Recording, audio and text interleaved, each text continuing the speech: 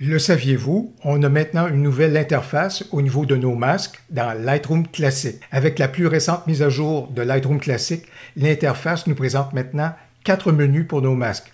Un premier menu qui nous offre les curseurs au niveau de la tonalité, un deuxième au niveau de la couleur, un troisième au niveau de la présence pour texture, clarté et correction du voile, et un quatrième au niveau du détail. Ce que l'interface permet également, c'est de visionner l'ensemble des curseurs et l'ensemble des quatre menus lorsqu'on vient lui dire avec le bouton droit tout développer, mais encore, on peut également privilégier le mode solo. Qu'est-ce que le mode solo? C'est le fait que lorsqu'il y a un menu d'ouvert, à ce moment-là, on ne voit que les curseurs de ce menu-là, mais dès qu'on va dans un autre menu, ça referme le précédent et ainsi de suite. Il y a tellement de choses à connaître au niveau de Lightroom classique.